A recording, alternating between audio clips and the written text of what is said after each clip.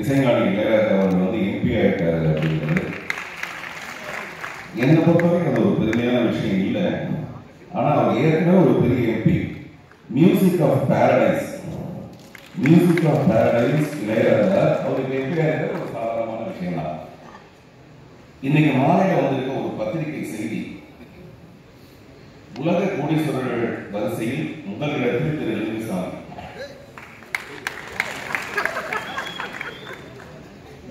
உலக கோடீஸ்வரர்கள் வரிசையில் முதலிடத்தில் லிங்கசாமி லிங்குசாமி பாருங்க பத்திரிகையிலே போட்டிருக்காங்க.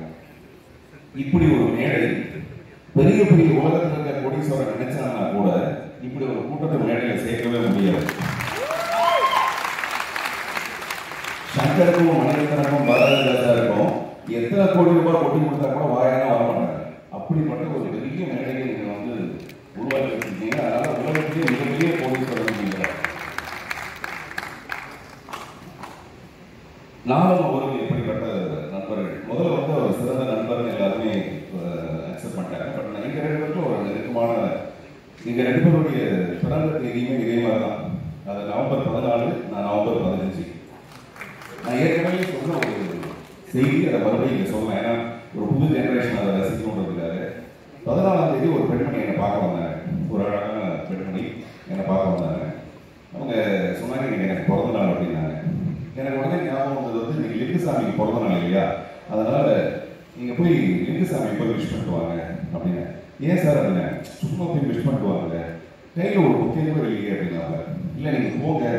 அப்புறம் அவர் என்ன சொல்றாரு பாருங்க அப்படின்னா அதே மாதிரி அந்த பொண்ணு போய் அவர் விஷ் பண்ண உடனே லிங்குசாமி எனக்கு ஃபோன் பண்ணி சொன்னாங்க. நீங்க அமிச்ச பொக்கே ரொம்ப நல்லா இருந்தது.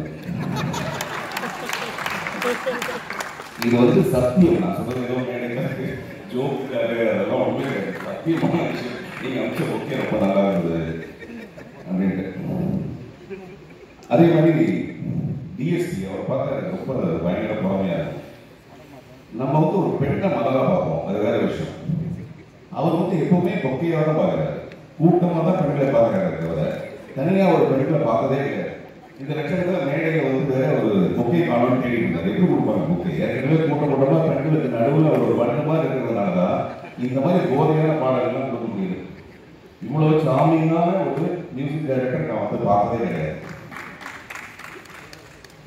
அது நல்லா இருக்குன்னு ரிலீஸ் எனக்கு தனியாக சொல்லியிருக்காரு சரி ஓகே அதே மாதிரி ராம்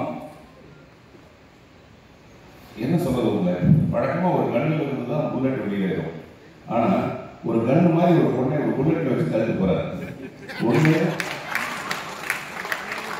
பொதுவாக கண்ணில் தான் புல்லட் வரும். ஆனா இது ஒரு புல்லட்ல கண்ணு மாதிரி ஒரு பொண்ணு வந்து தடுத்து போறாரு. ஒன்று இவர் அந்த புல்லட்டை தள்ளிட்டு வந்து அந்த பொண்ணை ஓட்டிட்டு போறாரு. அல்லது இந்த புல்லட்டை ஓட்டிட்டு போய் அந்த பொண்ணை தள்ளிட்டு போறாரு. ரொம்ப கொடுமையா இருக்கு. ரொம்ப பொறாமையா இருக்கு. ரொம்ப சங்கடமா இருக்கு. வேதனை இருக்கு மனசுக்கு இந்த மாதிரிலாம் நீங்க ஏற்கனவே ஒரு ஹீரோ கட்டிட்டீங்க அதனால உங்களுக்கு இந்த மாதிரிலாம் வாய்ப்பு கிடைக்கும் எங்களை மாதிரி எனக்கு ஹீரோ வாய்ப்பு கிடைக்கும் யோசிச்சு பாருங்க. கீர்த்தி நல்லா இருக்கேன் அவ்வளோதான் நல்லா சொல்ல முடியும் ஸோ டிஎஸ்பி பற்றி சொல்லிட்டேன். அப்புறம் ரொம்ப ரொம்ப மகிழ்ச்சி லிங்குசாமி அவர்களுக்கு இந்த படத்தோட வெற்றிங்கிறது. ப்ரொடியூசர் காரு நீங்கள் பார்க்க பெஸ்ட் விஷஸ் இந்த வாரியை உங்களுக்கு வாரி வாரி கொடுக்கணும். அதனால தான் அந்த வாரியம் பேர் வச்சுருப்பாங்கன்னு நினைக்கிறேன். ஒவ்வொரு வாரமும் திங்கட்கிழமை வரும் ஆனால் வருஷத்துக்கு ஒரு தடவை தான் தீபாவளி வரும். தாமதம் ஆயிடுச்சுங்கிறதுக்காக வருத்தப்பட வேண்டாம். இது நிச்சயமா லிங்கசாமிக்கு மறுபடியும் ஒரு தீபாவளி. இந்த தீபாவளி சரவணியாக தொடர்ந்து அவர் தொடர்ந்து மிகப்பெரிய வெற்றி படங்கள் அவர் கொடுத்துட்டே தான் இருக்க இடையில் ஏற்பட்ட கேப்ன்றது எஸ் ஏ சூர்யா சார் சொன்ன மாதிரி அவர் தயார்படுத்திக்கிறதுக்காக அந்த மாதிரி இருக்கலாம் நான் நினைக்கிறேன். மனப்பூர்வமாக அவருடைய வெற்றிக்காக நான் வேண்டிக்கிறேன்.